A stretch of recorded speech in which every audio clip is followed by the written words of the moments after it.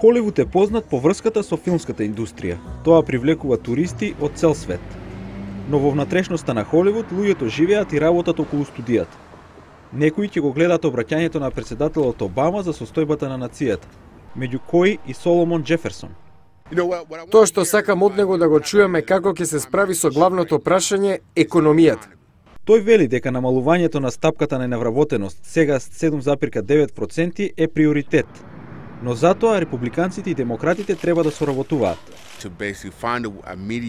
Мора да најдат средина, да направат компромис за да може да ги постигнеме тие цели. За Џон Пулиот, филмски монтажер, сиромашните се во мислите. Би сакал повеќе да стори за тоа, да каже, имаме ресурси, треба да ги поставиме даноците како што треба. Треба да ги затвориме дупките во законите и да ги собереме даноците. Дефицитот во моментов не е толку важен колку секој во оваа земја, да застане на свој нозе. Тие велат дека нема да биде лесно, но луѓето овде се надеваат на среќен холивудски крај во вториот мандат на председателот.